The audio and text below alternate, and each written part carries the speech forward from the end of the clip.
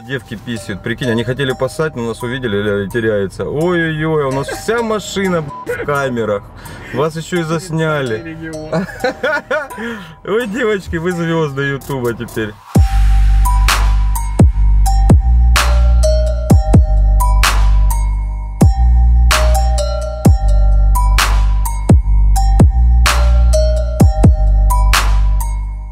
Всем привет, это канал Loud Sound, и у нас сегодня необычный обзор. Я сразу отвечу на вопрос, который у всех появился сейчас. Да, мы будем наваливать на этой машине, мы будем очень жестко на ней наваливать. Мы протестируем все ее прикольные фишки, функции. В общем, можете быть спокойны, я не из тех автоблогеров, которые будут полчаса ходить вокруг машины и сыпать фактами, которые 20 минут назад прочитали в Википедии. Мне дали этот автомобиль на два дня. Два дня я использовал его по назначению, потому что это AMG с э, мотором 5,5 литра, с двумя турбинами, офигенным звуком, с офигенным салоном. Уникален обзор тем, что на российском ютубе, да в принципе можно сказать, что и на зарубежных а, толковых обзоров этого автомобиля еще никто не делал. Делали на предыдущую версию этого автомобиля GL AMG 63, делал Давидыч, но обзором я бы это не называл, особо не наваливали, про машину ничего не рассказали. В общем, как и во всех обзорах Давидыча, вы получили информацию не об автомобиле, а о мировоззрении Давидыча, о том, как он борется со своими комплексами комплексами и так далее. Ладно, Давид, Давидыча чуть затроллил, можно начинать обзор. Это у нас рестайлинг ГЛ. У ГЛ было два поколения. Ничего кардинально не поменялось. У нас стоит более красивая оптика, крылья, капот а, и так далее. Ну, а АМГ-версия кардинально отличается от обычного ГЛС. Тут стоит совершенно другая тормозная система, подвеска, коробка, двигатель, выхлопная система. Все это другое и собирается именно на АМГ. Мотор собран вручную, как и все моторы AMG. На нем есть роспись человека, который его собирал. Внешний автомобиль очень спорный, много кто докопается, да, там а, после таких дизайнов, как на X6, на GLE, а, на, на Range Rover. А, в принципе, автомобиль смотрится, ну, ничего особенного.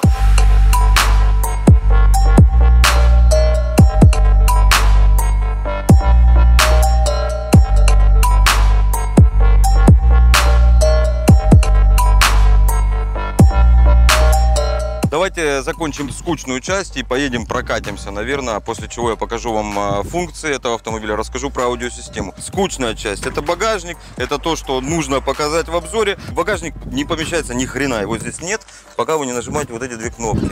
Тогда у нас автоматически складываются задние спинки, вот эту шторку можно перевесить вперед, и у нас а, получается пятиместный автомобиль с а, громадным багажником. Также быстро и красиво эти спинки выезжают обратно. Третий ряд сидений. Там помещается два человека. И вчера мы его протестировали. Я не снимал, к сожалению, это на видео. А, посадили мы туда парня ростом метр девяносто восемь. Не сказать, что ему было комфортно, но перемещаться он мог в этом автомобиле. Дальше.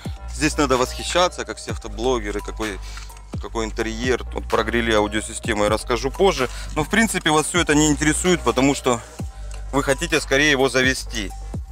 А, если мы сейчас его заведем, мы не услышим того кайфа, а, который происходит, когда вы заводите холодный автомобиль. Звук, а, с которым заводится и после начинает прогреваться этот автомобиль, когда он холодный, напоминает разбуженного зверя.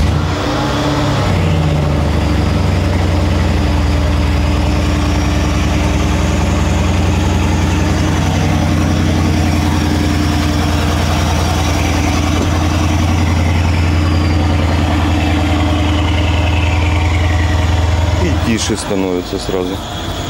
Успокаивается. Типа все, ребята, я готов.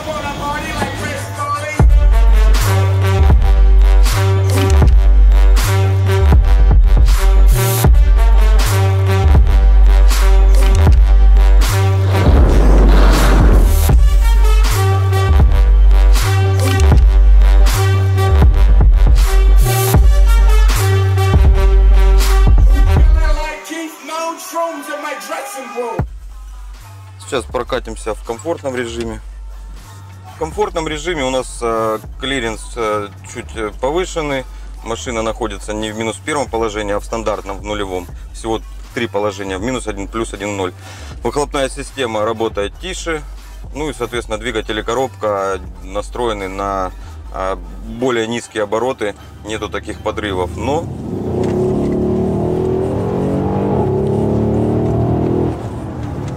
Вот это ничего особенного. ну, э, уже, уже очень круто. Можно уже обалдеть. И там люди не привыкшие, конечно, говорят, вот это звук, вот это динамика, вот это все.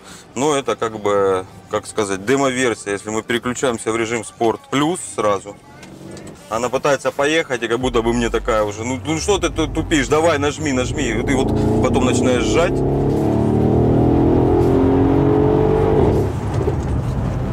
На, на переключение передач происходит просто нереально крутой взрыв а, в, в трубы. И потом еще на, на переключениях ниже. А, а, звук просто божественный. Слушать можно, вот ездить целый день, просто слушать звук выхлопа. Посмотри, как сделали классно, да, пешеходный переход? Чтобы пропустить людей, надо встать прямо на перекрестке. Россия. Да.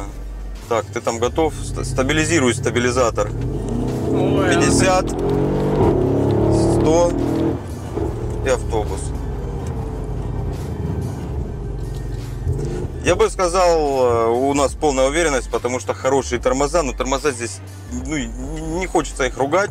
Они не то чтобы не хорошие, они чуть-чуть не соответствуют этому мотору. Вес, чувствуется вес, когда на- нажимаешь на тормоз, чувствуется, что их можно перегреть, поэтому вот на трассе мы вчера катались, я тормозил очень аккуратно, ну нет такой вот супер уверенности, как во всем остальном. Рулежка здесь для вот такой вот громадины нереальная, ощущение, что ты едешь в джипе нет вообще. Вот у меня такое ощущение, что еду там в каком-то Е-классе. Вот, по поводу дрифта. Шутили мы долго. Это, это бредятина, конечно, пускать внедорожник в дрифт. Но у нас есть кнопка отключения стабилизации. Я сразу скажу троллям, это не дрифт.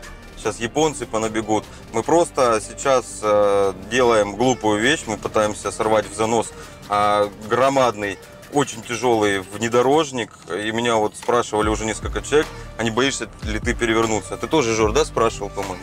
Отвечаю вам, как боюсь. Но э, машина на самом деле вот в заносе ведет себя вот с выключенной системой стабилизации, а очень даже, как это сказать, ну, уверенно.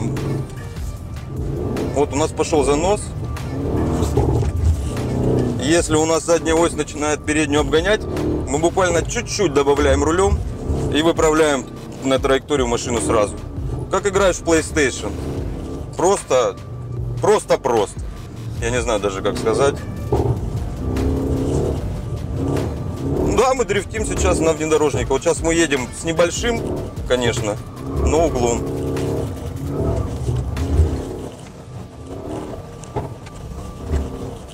У нас, короче, стабилизация, да, умерла. А ты мужика на Тауреге не снял? Посмотри, Ну, его полные печали солнечные очки, посмотри. Он, наверное, думает, как? Как ты на этой херне едешь боком? Ну, представляете, что такое на Тауреге так попробовать?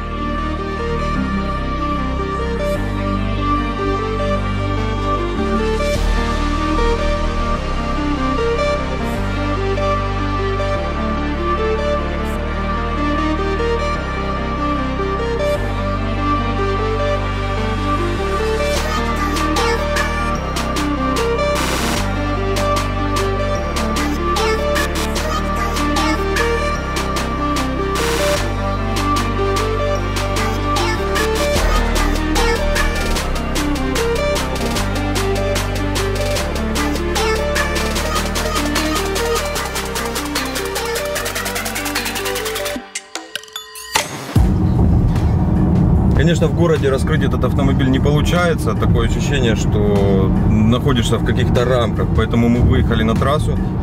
Перед тем, как показать динамику, давайте проверим активный круиз-контроль. Обалденная просто штука. Сейчас перед нами едет автомобиль. Мы отпускаем его на нужную нам дистанцию, поворачиваем рычажок круиз-контроля. Он зажег э, руль зелененьким и переключился полностью в автопилот. Сейчас машина должна управлять э, сама и поворачивать, и нажимать газ, тормоз. То есть, если машина будет от нас уезжать, она будет газовать. Если машина будет тормозить, мы тоже остановимся, вплоть до полной остановки. Вот, вот она просит вернуть руки на руль.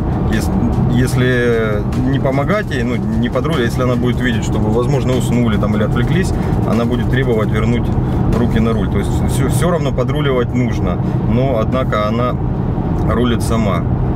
Если этого не сделать, автомобиль включит аварийку и просто плавно сам остановится в том же ряду.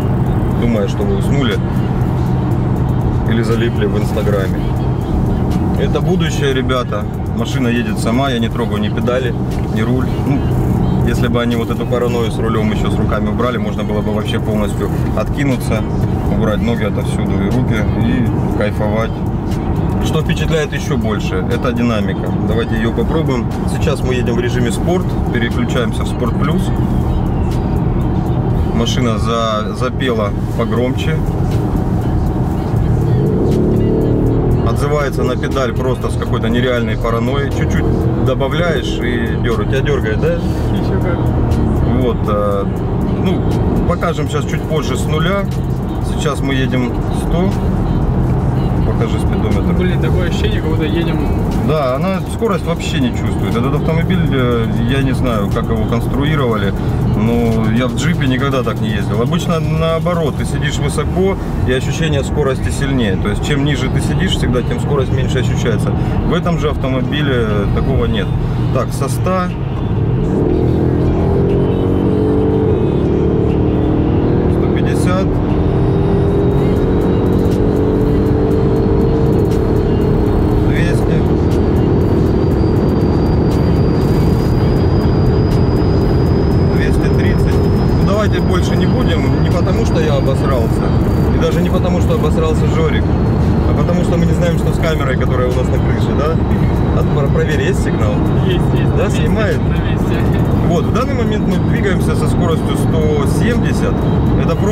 что-то. Это, ну, вот это действительно Вот впечатляет. Я не держусь даже за руль, никакого намека на, э, на дискомфорт. Вот кочки сейчас у нас будут вообще шикарно. Расстраивают мошки. Вот это количество трупов мошек на, на лобовом стекле, оно моментально появилось, только что у нас было чистое лобовое стекло. И сразу все едут медленно.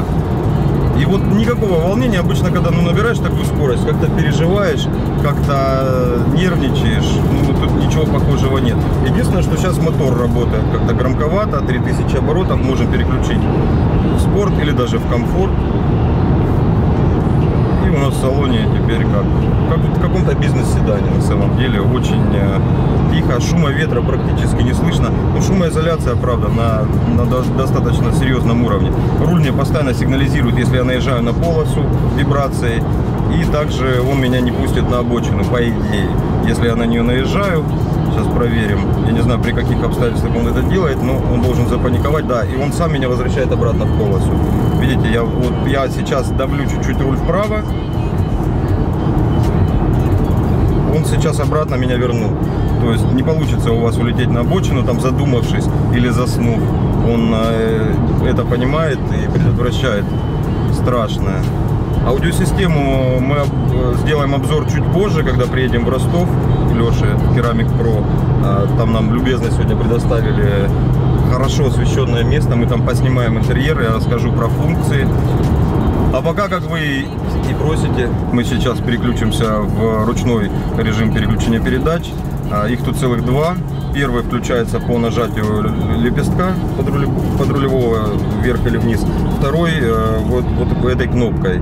Она включает полностью механический режим и не будет переключать передачи, даже если вы переборщили с оборотами или надо переключить передачу вниз, она будет всегда оставаться в той же самой передаче. То есть это полная механика, полный контроль. Давайте начнем с лепестков. Сейчас у нас э, пятая передача, две с половиной, четвертая.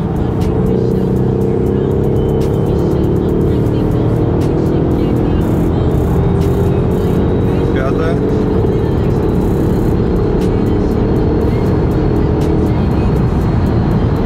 Мотором тормозит машина идеально. Такого нету жижи такой в некоторых автомобилях. Вы дергаете передачу вниз, она просто за- заревела, а, но ничего не происходит. Здесь происходит торможение двигателем. Это супер приятное ощущение. Для того, чтобы максимально передать звук двигателя, звук выхлопа, а, мы сейчас переключимся в ручное переключение передач. 0. Сейчас отпускаем пару машин. Так, первая.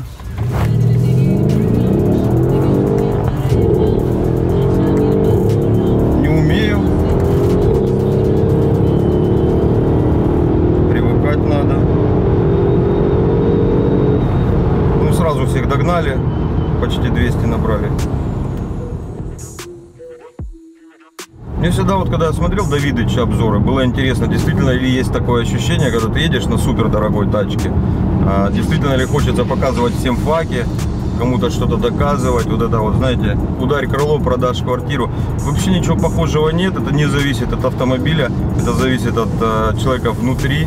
У меня сейчас ощущение вот комфорта, безопасности, спокойствия. Вот смотри, BMW. А что? А, они писают, смотри. А ты снимаешь? Там девка, что ли? Да, девки писают. Прикинь, они хотели пасать, но нас увидели и теряется. Ой-ой-ой, у нас вся машина, блядь, в камерах. Вас еще и засняли. Ой, девочки, вы звезды Ютуба теперь. А, а- они уже пописали или их собирали? Они, наверное, только собирались, бедные, мы их спугнули.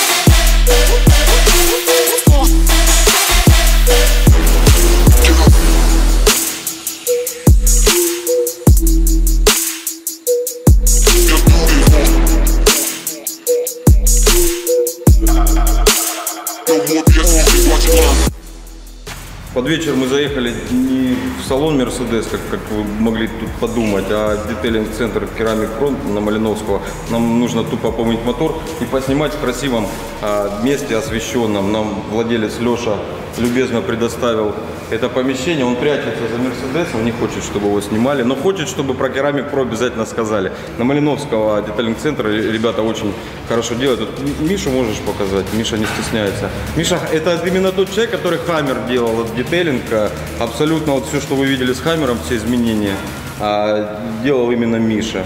Теперь нужно рассказать, собственно, про фишки, которые можете увидеть внутри, показать немножко ин- интерьер и, конечно, канал об автозвуке нужно сказать пару слов об аудиосистеме. Давайте с нее и начнем. Аудиосистема здесь установлена топовая Bang Olufsen, и как ее позиционирует Bang Olufsen, это high-end. Однако по внешнему виду все безупречно. А грили выполнены из алюминия с лазерной гравировкой, и вот это на самом деле произведение искусства. Если не смотреть на пищалки, пищалки это вообще что-то с чем-то. Они выглядят необычно, они выглядят очень дорого и красиво, они подсвечены. А, И здесь используется технология Bang Olufsen фирменная, которая называется акустическая линза. Ветер играет вверх, и звук рассеивается об вот эту вот акустическую линзу, такую пулю, направленную вниз, на 180 градусов. Справедливо будет заметить, что это, наверное, лучшая аудиосистема из штатных, что я слушал. Ну, конечно, до кастомных она не дотягивает, а, но, я не знаю, 99% вот слушателей она удовлетворит. Про интерьер долго говорить не буду. Есть здесь э, минусы, есть плюсы. Минусы э, это еще не обновленная центральная консоль. Она от GL здесь осталась. А, Однако руль, приборная панель, э, монитор и некоторые элементы декора здесь уже новые и смотрится на самом деле очень круто. Вот этот вот телевизор, я его собирался троллить. В принципе, я немножко поменял свое мнение после того, как немного им попользовался. А, Но, но троллить все равно есть что. Очень, очень спорный дизайн, очень много людей обращают на это внимание. Кто-то говорит, что как iPad сюда поставили, кто-то говорит регистратор очень большой.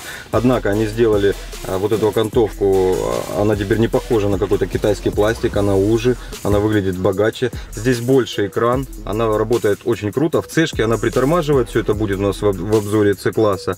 А здесь никакого дискомфорта нет. Откликается быстрее и сделано все на самом деле добротно. Очень хорошее разрешение, очень хорошая цветопередача.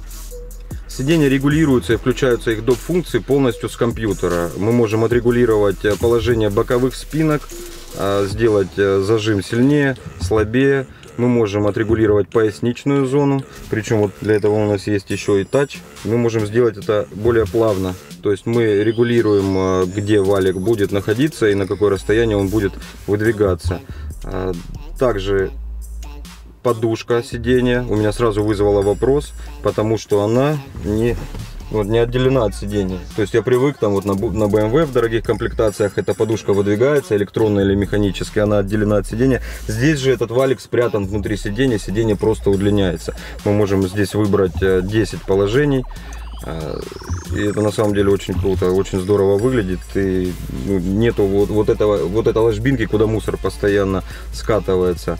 Также отсюда вы можете зайти в Dynamic Select. Что она делает? У нас здесь есть положение комфорт, спорт, спорт плюс, ну и тут зима, скользко оно тут называется. И есть индивидуал. Мы можем э, выставить индивидуал под себя, э, можем выставить жесткость подвески, как ведет себя мотор, как ведет себя коробка. Руль, к сожалению, здесь не регулируется, он всегда в одном положении. Вот у меня в цешке можно выставить еще, насколько информативный будет руль, что мне не понравилось. Да Mercedes почему-то до сих пор не может сделать нормальный голосовой помощник. Он здесь на английском.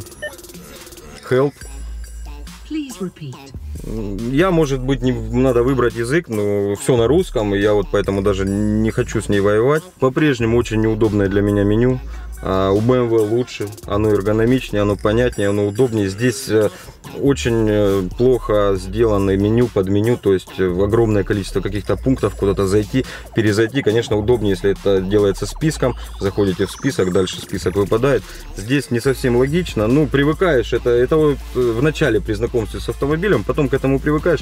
В принципе, ничего ужасного. Ну, При нажатии звездочки у нас э, вылезает меню избрано, и сюда мы можем добавить любой пункт меню для быстрого доступа. Это как бы они реабилитируются так. э, На самом деле это упрощает задачу. Здесь мы можем там наиболее востр- востребованные вещи поставить э, и ими пользоваться очень быстро, когда нам это нужно. Я вот сегодня, например, сюда заходил, постоянно камера 360 включал. Просто супер обалденная вещь. Э, Когда едешь передом, не видишь, проходишь ты или не проходишь, или посмотреть, кочка есть, или э, бордюр где. А э, Камера 360 полностью показывает вам автомобиль сверху, и вы видите все окружение в не как парктроник, да, приближение, а вы видите именно с, живую картинку. Надеюсь, обзор вам понравился. Сейчас надо сказать пару слов в завершении, но ребята очень сильно заняты процессом съемки красивых кадров, поэтому я сам себя поснимаю на вот какую-то очень дорогую аппаратуру. Очень было приятно поснимать этот Мерседес, очень было приятно на нем покататься. Огромное спасибо Ключавто, Стасу лично, Евгению Сергеевичу за то, что предоставили такой автомобиль. Я надеюсь, это не последний автомобиль, который они предоставили. Я хочу еще покататься я на всем еще хочу покататься. У меня целый список я готов предоставить. Вам тоже, если интересно, пишите, какие машины вам интересно было бы посмотреть. Подводя итог, что это за автомобиль и для кого он. Понятно, что он безумно дорогой и позволить его себе смогут не все люди. Но вот я не привязывал бы его к возрасту. Этот автомобиль действительно для людей, которые хотят мотоцикл, автобус, джип и мерседес в одном кузове. Ну и которые, конечно, могут себе его позволить. Также очень нам помог Леша из Керамик Промо, где мы сегодня снимаем. Он сам сниматься почему-то не хочет, да? Не снимать тебя, да? Ну, все ссылочки в описании будут, перейдите, тоже отблагодарите. Люди предоставили помещение, э, машину вот в порядок привели, большое им спасибо. Вы, вы также посмотрели обзоры, если вам понравилось. А, Не будьте уродами, Под- подпишитесь, подпишитесь. У там вообще очень крутые тачки, он показывает в инстаграме. Ну и пацаны из Madhouse, я надеюсь, не, последний раз мы с ними снимаем. А качество обзоров, я надеюсь, у нас будет улучшаться в дальнейшем. Если понравилось, не забывайте сделать лайк, репост, вы там, что вам делать. И также не забывайте писать комментарии, что бы вы улучшили, что вам понравилось, что было хорошо, что было плохо. Но только, конечно, все это делайте культурно. Некультурные у нас будут баниться очень быстро. Все, это канал Loud Sound. Всем пока. Живите громко. dun dun dun dun dun dun dun dun dun dun dun dun dun dun dun dun dun dun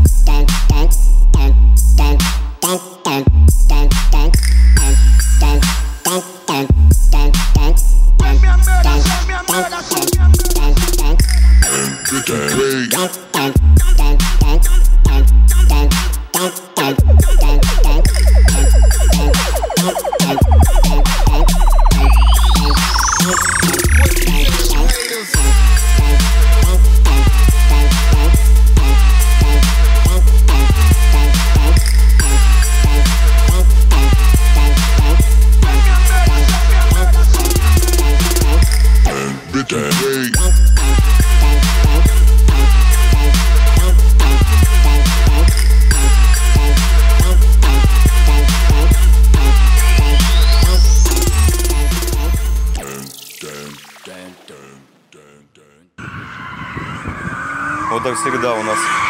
Приезжаем снимать обзор автозвука или автомобиля. А у нас по- почему-то дрифт в кадре получается. Сейчас будет красивый кадр, смотри. Я такой снимаю обзор Мерседеса, ГЛС, АМГ и тут БМВ. Спасибо, что запорол, блядь, нам кадр. Поздоровался он. Ну, а в данном случае у нас топовая версия 63 с мотором, это я уже говорил все.